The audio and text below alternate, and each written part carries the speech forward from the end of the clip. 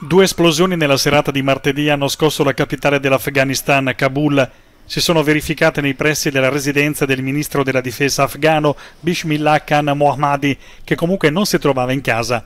È un altro segnale della minacciosa avanzata dei talebani, ormai inarrestabile, dopo il ritiro definitivo delle truppe straniere dall'Afghanistan, cominciato il primo maggio scorso. Il doppio attentato è avvenuto dopo che gli Stati Uniti, nelle ultime 72 ore, hanno ripreso ad effettuare raid aerei contro le postazioni dei talebani nei pressi di Kandahar, Herat e Lashkar Gah, città ormai nelle loro mani.